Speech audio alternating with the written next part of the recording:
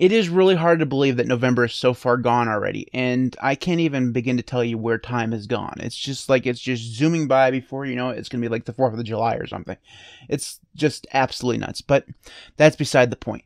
Every single month, I get together and find five amazing Linux apps that I can share with you in hopes that I bring some entertainment to your life. And these this series seems to be fairly popular, so I continue to do them. I continue to go and find applications, and this month is no different. I have five really cool apps to share with you this month. I'm really looking forward to it. But before we jump in, let me remind you that there's this big red button right below my face. And you should hit that button. And if you haven't already, subscribe to the channel because I publish content pretty much every single day of the week. Some of it is good content, some of it is not good content, but you don't want to miss the good content. So hit the subscribe button. You won't regret it. Or at least I hope you won't regret it. If you do regret it, let me know and maybe I can, you know, get better. Anyways, enough of my rambling. Let's go ahead and move on. Move into the list. You, you're here for the applications, right? Let's go to the applications. Let's jump in.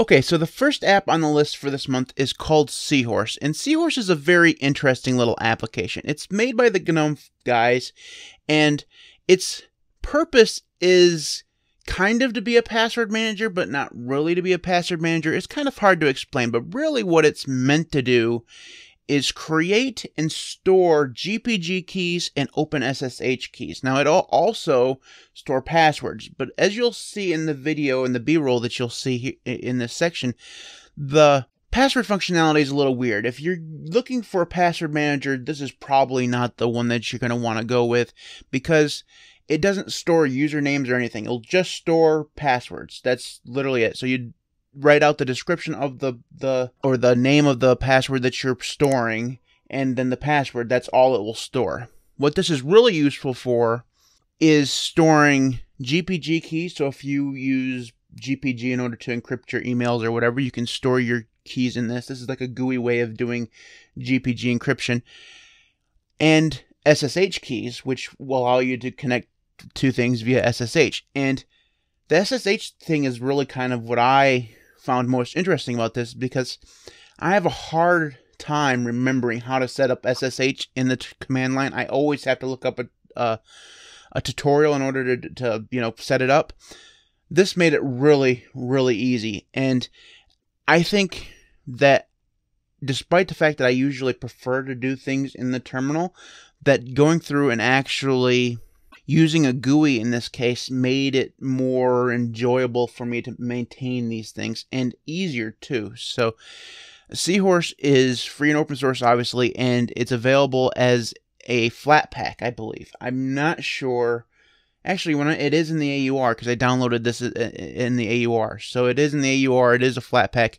Whether it's in uh, uh, your distro's repositories is something that I can't answer, but you should be able to check fairly easily. So that is Seahorse.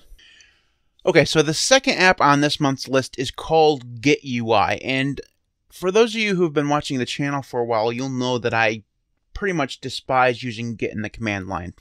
There's way too many commands. It's way too confusing and it's just not something that I've ever been able to really wrap my mind around, even though I've gotten better over at it over the, the last few months. So I've always been looking for an application that I can go through and just use to interact with Git in a more TUI slash GUI, you know, fashion. And for a while now, I've been using GitKraken, and GitKraken is a proprietary piece of software, but it's really, really good. But I've been wanting to look for a FOSS option, and Git GitUI is an option that I'm going to be trying out. Now, this is a TUI app- application, meaning it runs in the terminal, and you can do pretty much everything you need to do to interact with Git inside this application. Now, I've not used it extensively. I haven't set it up with my Git credentials yet, mainly because I just distro hopped because of computer problems, and I haven't set up SSH keys and all that stuff yet. But when I do, I'm going to be giving GitUI a, a, a deeper look because it seems at least a little more simple than something like LazyGit. LazyGit was very complicated for me and I could never get it up and running working and working well, so I didn't use it. That's why I was using GitKraken.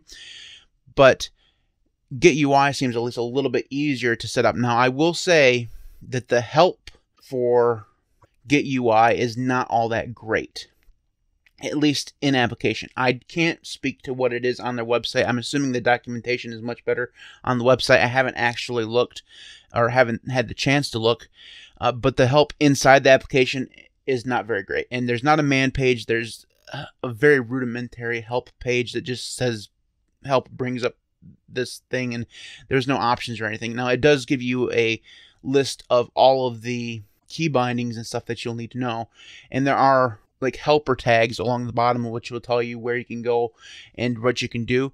So it's not that hard and it's not as if you know you need a ton of documentation but i really do think that i need to go and actually read the website before i dive into this but from what i can tell and from the few things that i've read about it GitUI does look like it's at least a little bit simpler than LazyGit and that's something that appeals to me and other than that, it's just a way to interact with Git if you want some other way of interacting with Git than just using the standard Git commands.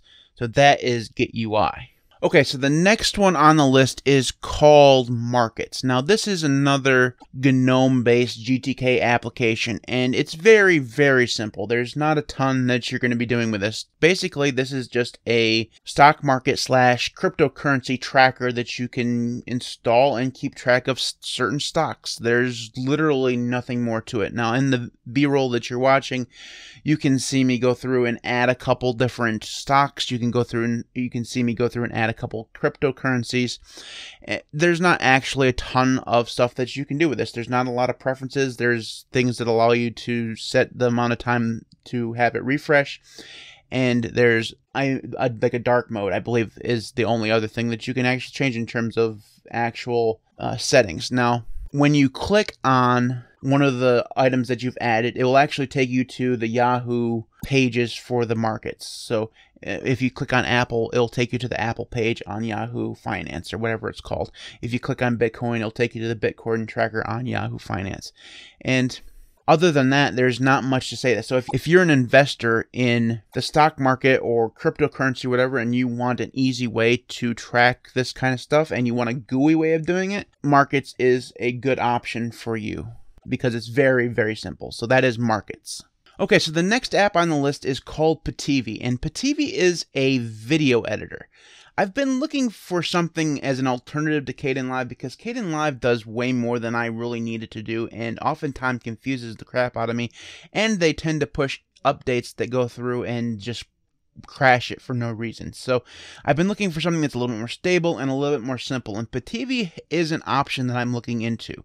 It is very simple. I will say that it has a very simple UI. It has some features. It doesn't have a lot of settings. Uh, it has quite a few effects, which I find nice.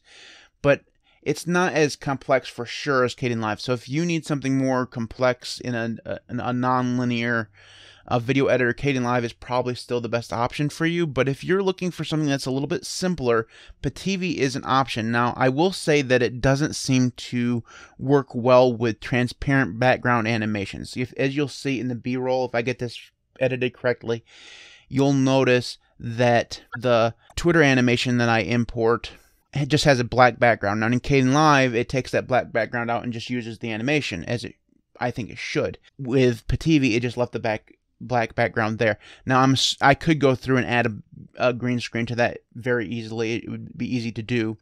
Uh, but it's just something that I noticed in my brief time with it. Now I'm going to give it a little bit more try. I'm not going to commit to editing this video, which is like 12 different tracks in order to, you know, to edit. I don't think that I'm that committed. I'm more used to Kdenlive right now, and I want this video to be edited fairly, you know, quickly.